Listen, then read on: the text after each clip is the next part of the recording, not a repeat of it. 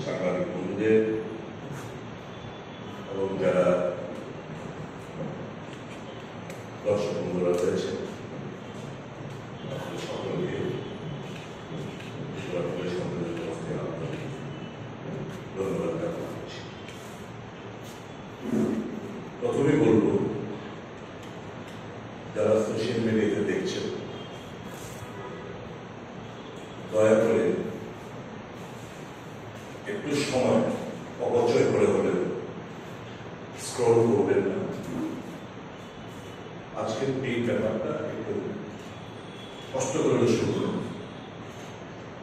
বিশেষ করে যারা তফসিলি জাতি উপজাতি এবং ওবিসি সম্প্রদায়ভুক্ত লোকেরা রয়েছে আপনারা অতি অবশ্যই আমাদের আজকে এই প্রেস ব্রিফিংটা দয়া পুরোটাকে শুনুন এই শব্দ সমাপ্ত আমাদের সিডব্লিউসি মিটিং এ কিছু অনেক গুরুত্বপূর্ণ রেজলিউশন আমরা গ্রহণ করি। এর মধ্যে অন্যতম একটি হচ্ছে, আমি পড়ে শোনাচ্ছি, বাংলাতে বলব। The CWC also underlines the stubborn refusal of the Modi government to conduct a caste census. This refusal is a fact of a universal demand that exposed the BJP's lack of commitment to the social and economic justice and bias against the backward classes, the least and tribal people. In this context, the CWC also calls for increasing the existing upper limit of reservation for scheduled castes, scheduled tribes, and OBCs. অর্থাৎ মোদী সরকার শুনেও শুনছে না গুরুত্ব উপলব্ধি করো তারা জন্য তারা আগ্রহী নয় এই কাস্ট সেন্সাসটা গুরুত্ব দেয় যদিও সারা ভারতবর্ষে আম জনসাধারণ দাবি করছে কাস্ট বেস সেন্সাসটা করার জন্য স্পেশালি যারা দলিত যারা আদিবাসী এবং যারা ওবিসি সম্প্রদায়ভুক্ত তাদের এই দাবি মোদী সরকার পদপালন করার জন্য আগ্রহী নয় এর প্রেক্ষিতে কংগ্রেস ওয়ার্কিং কমিটি জোরালো দাবি জানাচ্ছে যে কাস্ট বেস সেন্সাস সারা ভারতবর্ষে করার জন্য এবং এক্সিস্টিং যে আপার লিমিট যে রিজার্ভেশন রয়েছে বিভিন্ন ক্ষেত্রে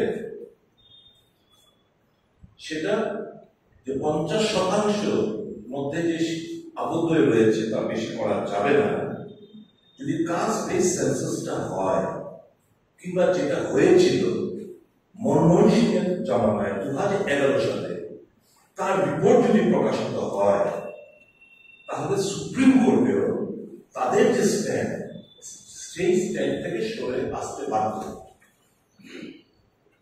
কাজে আমরা এই রিজার্ভেশন আপার লিমিটটাকে বাড়ানোর দাবি জানাচ্ছি এটা কংগ্রেস ওয়ার্কিং কমিটিতে আমরা রিজলভ করেছি।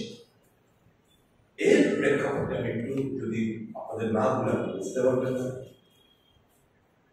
সুযোগ সুবিধা থেকে তাদের যে ন্যায্য অধিকার, সেগুলো থেকে তারা বিপ্লব হচ্ছে। চাকরির ক্ষেত্রে বলুন, বিভিন্ন স্কিমের আওতার মধ্যে এদেরকে আনা থেকে বলুন, সমস্ত ক্ষেত্রেই পড়াশোনার ক্ষেত্রে বলুন on each and every sphere OBC জনসংখ্যার গোষ্ঠীর লোকরা কিন্তু বিপ্লব হচ্ছে ইন আর অ্যান্ড অ্যাক্রস দ্য কান্ট্রি 1931 যে সেন্সাস করা হয়েছিল তখন 45% অফ দ্য কান্ট্রিম্যান মানে দেশের প্রায় পঁয়তাল্লিশ শতাংশ লোক ওবিসি সম্প্রদায় ভুক্ত। এটা কখন কথা এটা কথা। এটা যখন এই ডেটাটা তো সেন্ট্রাল গভর্নমেন্টের কাছে আছে রিভিল করছে। এখন লোকসভায় উমেন রিজার্ভেশন বিল পাস হয়ে গেল। আমাদের কি ডিমান্ড? ডিমান্ড হচ্ছে এবং দেশের মধ্যে এর আগে কিংবা কোথাও যে একটা আইন আমরা পাস করতে যাচ্ছি সেটা এফেক্ট হবে আফটার এ ডেকেড এই নতুন বিলে ক্লজ ফাইভে পাঁচে বলা হয়েছে the reservation will come into force after what? After census and after delimitation. It's a long, long, long process. Modi সাহেব মোদী সরকার আজকে যদি বুঝতাম যে এই দু লোকসভা থেকে এটা এবং বিধানসভা পরবর্তী যে বিধানসভাগুলো হবে এর মধ্যে একটা এফেক্ট হবে আমরা হার্ডলি ওয়েলকাম করব কিন্তু আজকে বিলটা আনা হলো শুধু রাজনৈতিক চরিতার্থ লাভ লাভালাভের কথা মাথায় রেখে টু ডাইভার্ট দ্য মানসিক দৃষ্টিটাকে, মহিলাদের দৃষ্টিটাকে, তাদের ব্যর্থতার দিকগুলো থেকে আড়াল করার জন্য এবং একটা যে হামনে ইয়ে কিয়া হ্যাঁ আমাদের ও কিয়া আয় এই কথা বলার জন্য এই বিলটা এখানে আলাদা হলো। যদিও কংগ্রেস দল সহ ইন্ডিয়ার জন্য সমস্ত দল, আমরা এটাকে সমর্থন করেছি এবং জোরালো দাবি জানিয়েছি যে এই বিলটাতে তোমরা ইমিডিয়েটলি ইমপ্লিমেন্ট করো দু হাজার চব্বিশ সাল থেকে। যেহেতু আমাদের একটা কাস্ট বেস দু হাজার এগারো সালের কাস্ট বেস সেন্সাসের ডেটাগুলো রয়েছে, সেই ডেটা মোতাবেক তোমরা নির্ণয় করো কতটা এসসি হবে, কতটা এসটি হবে। এবং এই যে বিলের মধ্যে যারা পিছিয়ে পড়ে মানে ওবিসি সংখ্যালঘু মহিলাদের তাদের জন্য আসন সংরক্ষিত করো। এটাই তো আমাদের কংগ্রেসের দীর্ঘদিনের ডিমান্ড। তার জন্যই তো দু হাজার এক দশ সালে পার্লামেন্টের গুরুত্ব আরোপ করে ডিসকাশন করে দু হাজার এগারো সালে এই সেন্সাসটা অনুষ্ঠিত হলো। এই সেন্সাসটা দু হাজার একুশে আবার হওয়ার কথা দশ বছর বাদে। কিন্তু যেহেতু কোভিড মহামারীর কারণে সেটা হয়নি কংগ্রেস আবার ডিমান্ড করছে, তুমি ওই দু হাজার এগারো সেন্সাসকে দিয়ে তোমরা এক্ষুনি এটা চালু করো। আর দু হাজার এই যে সেন্সাসটা তোমরা করবে, পরবর্তী সময় আসন বাড়া কমা, তোমরা কমাতেই পারো, বাড়াতেই পারো। কমবে তো না, বাড়াবেই। এটার উপর নির্ভর করছে automatic the sufferings of the OBC people because of the ceiling of 50% reservation across the country. Sufferers are the OBC people. Congress এই জায়গা থেকে তার উপলব্ধি দীর্ঘদিন ধরে আপনারা শুনতে পাচ্ছেন caste base census caste base census করার জন্য কংগ্রেস ডিমান্ড করে আসছে তার মূল উদ্দেশ্য হচ্ছে এটা আমরা ওবিসি সম্প্রদায়ভুক্ত লোকেদের যে তারা প্রত্যেকটি ক্ষেত্রে right from education right from employment থেকে শুরু করে ডিপ্রাইভেশন অন্যান্য স্কিমের যে ডিপ্রাইভেশন চলছে, এটা আমরা মেনে নিতে পারছি ইউনো ধর্মের নামে কোনো রিজার্ভেশন চলে না। এই যে সেন্সাসটা যেটা দু হাজার এগারো যে সেন্সাসটা করা হয়েছে, এর মধ্যে দেখা যাচ্ছে খ্রিস্টানদের মধ্যে ওবিসি রয়েছে মুসলমানদের মধ্যে ওবিসি রয়েছে জৈনদের মতো ওবিসি রয়েছে শিখেদের মতো ওবিসি রয়েছে কাজে আমরা তো চাইছি এই ওবিসি সংরক্ষণ যদি আমরা চালু করতে পারি তাহলে we can extend the benefit to a large population, large section of the population that exists in our country. As ওই পুরনো সেন্সাসের কথা অনুসারে পাঁচচল্লিশ শতাংশ এটা বেড়ে অনেক বেড়ে যাচ্ছে কাজে একটা বৃহৎ অংশের ওবিসি সম্প্রদায়ভুক্ত লোক এই নরেন্দ্র মোদীদের ষড়যন্ত্রের শিকার হচ্ছে। তাদের ভিন্ন রাজনীতির শিকার হচ্ছে। আর মেকি দলদিন তারা ভাষণ দিচ্ছে। রাহুল গান্ধী আপনারা কাকে দেখেছেন? অনলি ওবিসিদের জন্য দেশের পঁয়তাল্লিশ শতাংশের অধিক ওবিসি সম্প্রদায়ভুক্ত লোক থাকা সত্ত্বেও বাজেটের মাত্র পাঁচ শতাংশ টাকা কেন্দ্রীয় বাজেটের মাত্র পাঁচ শতাংশ টাকা ওবিসি সম্প্রদায় সম্প্রদায়ভুক্ত লোকেদের জন্য খরচা করা হচ্ছে। তাই আমরা এই আনইউটোপিক্যাল টার্মস আজকে এই সম্পাদক সম্মেলনে আমাদের যে দলের স্ট্যান্ড স্ট্যান্ডটা হচ্ছে মহিলা reservation bill we have it was the brain child the Congress party seventy third seventy Rajiv Gandhi করে গেছেন পঞ্চায়েত রাজ অ্যাক্ট ওখানে মহিলাদের এম্পাওয়ারমেন্টের জন্য উনি বন্দোবস্ত করে গেছেন। আমরা আজকে এই মহিলা রিজার্ভেশন বিল এর আগেও আমরা প্রচেষ্টা নিয়েছিলাম। কিন্তু যে কোনো কারণে হোক, রাজ্যসভা পাশ করা সত্ত্বেও লোকসভা এটা আটকে যায়। আজকে এই জায়গায় আমরা একটা কনস্ট্রাকটিভ অপোজিশন দল হলেও ইন্ডিয়ার জোটের অন্যান্য শ্রমিকরা আমরা কিন্তু আজকে এই ওমেন রিজার্ভেশন বিলটাকে কাস্ট বেস সেন্সাস হয়েছে তেমনি স্বাধীন হওয়ার পর। এর আগে একটা হয়েছিল আঠারোশো বাহাত্তর সালে। করেছে। এবং মন্ডল কমিশনের যে রিপোর্ট সেটা ওই উনিশশো একত্রিশ সালের সেন্সাসের রিপোর্টের ভিত্তিতে কিন্তু এটা করা হয়েছে এটা উপলব্ধি করে দু হাজার দশ সালে ডক্টর মনমোহন সিং এর সরকার এই বিষয়টা গুরুত্ব নিয়ে উভয় house of the parliament Lok Sabha, রাজ্যসভাতে এখানে ডিসকাশন করে তার গুরুত্বটা বুঝিয়ে দেওয়ার চেষ্টা করা হয়েছে এবং সর্বসম্মতক্রমে এই কাজ বেস সেন্সাস করার জন্য প্রস্তাব সবাই সম্মতি দেয়,